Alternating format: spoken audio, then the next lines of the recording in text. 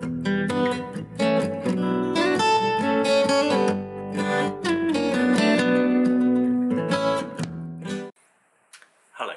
I'm Richard Treves, Outreach Officer for the School of Geography, Southampton University in the UK.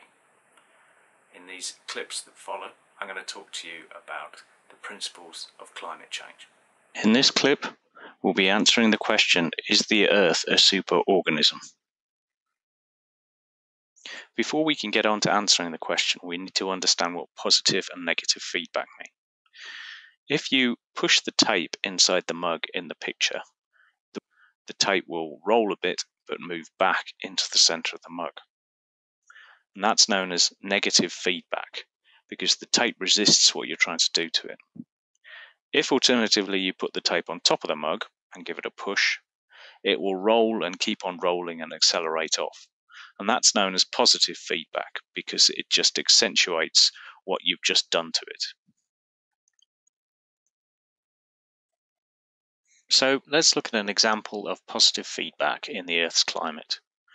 What we're going to do is fly over from North America there, up over the top of Alaska, and fly in to the North Pole. What you can see on screen is the white represents the sea ice floating on the sea at the North Pole, and the pink line represents the average extent of the ice cap over 30 years from present back to 1980. So if we press play now, it's going to move forward from 1989, which is at the moment, to 1999 play again.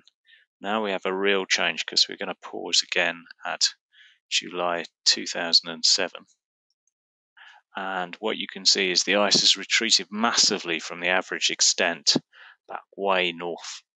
And it's revealed this big patch of dark blue sea. And what happens is that absorbs sunlight much more than the white ice. So the water subsequently heats up.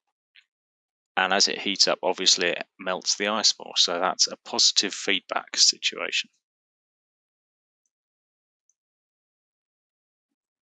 So now we're going to look at negative feedback in a climatic situation. And we're going to look at carbon dioxide, which is CO2, and forest expansion. And what happens uh, is if we have a tropical forest like we have in South America, let me just play you a little bit of a video of someone walking through exactly such a tropical forest there.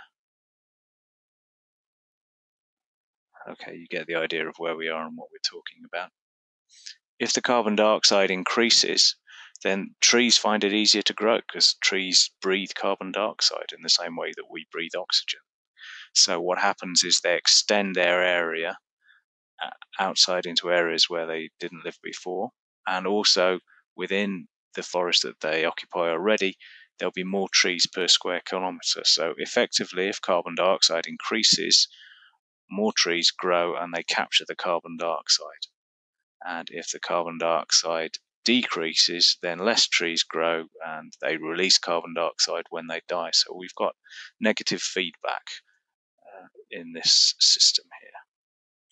What we're going to do now is I'm going to fly you into the top right corner of this frame and we're going to have a question. And the question is, do clouds have a positive or negative feedback effect on the Earth's climate?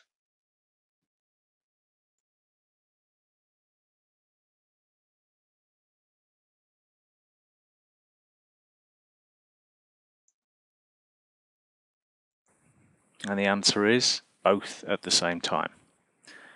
Clouds tend to block the sun, which gives us negative feedback, but they also tend to warm the earth. It's a greenhouse gas. Water vapor is a greenhouse gas, so it gives you positive feedback. And that's the effect that clear nights tend to be frosty in winter.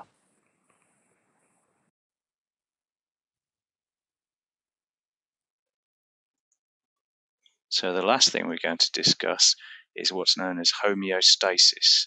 And that means that living things like to stay in the same state. So you like to stay at a constant temperature. If you get too hot, your body will sweat and that tends to cool you down. If you get too cold, your body will shiver and that uses energy in your muscles to warm you up. So, just like the tape in the mug, uh, life is a negative feedback system and it likes to stay in the same state, which is known as homeostasis. So, returning to our original question is the Earth a superorganism? Let's look at arguments for the idea. It may surprise you to learn that not all the cells in your body are human cells. Lots are bacteria that you need to survive. There's about a thousand different species in your gut alone, and because they're really small, the number of bacteria cells outnumber your own cells 10 to 1. If you're eating at the moment, I hope that idea hasn't put you off your food. We are walking ecosystems. Welcome to the idea of Planet U.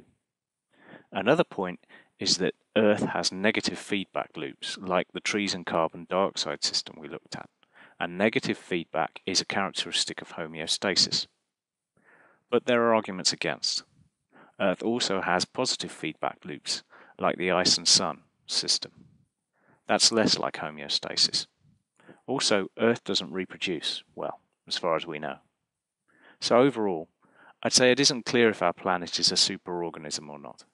But what is clear is that Earth's climate is made up of lots of systems, and the key to avoiding climate change is to understand those systems. So, a final point about systems. If you make a little paper spring, as I've done here on the left, folded up in a concertina fashion, it's a system. And if you push it gently, it will actually push back very gently. If you pull it equally, it will exert a tiny force pulling away from you. Is that a positive or a negative feedback system? And by now you should realize that it's negative, it just resists whatever you try and do to it. The point about this is if you pull it too much, the paper will rip and the system is broken. So, remembering homeostasis in humans, let's go for another question. If ripping the paper breaks the folded paper system, what would be the equivalent if we broke the human sweating, shivering homeostasis system?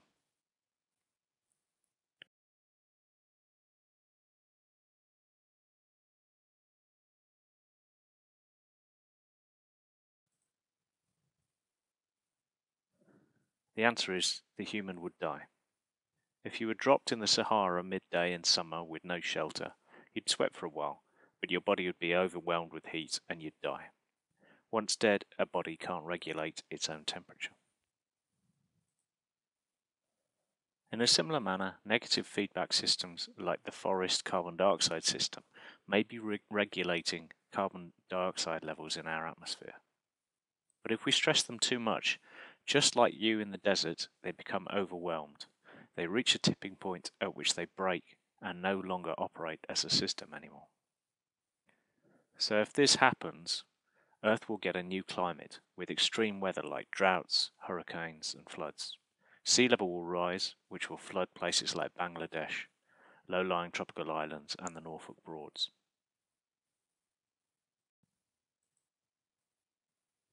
Access more detail by opening this link and looking in the bottom left corner of the frames.